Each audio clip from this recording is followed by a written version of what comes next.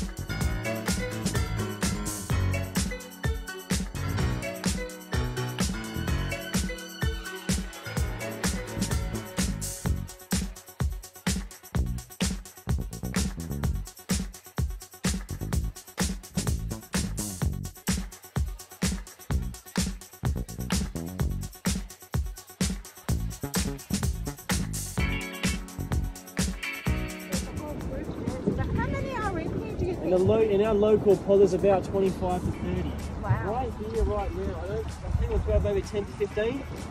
I don't think the whole pod's here right now. But with the females, she'll have a calf once every two years. And then she'll then look after the calf for four years. Mm-hmm. Gestation period's a year.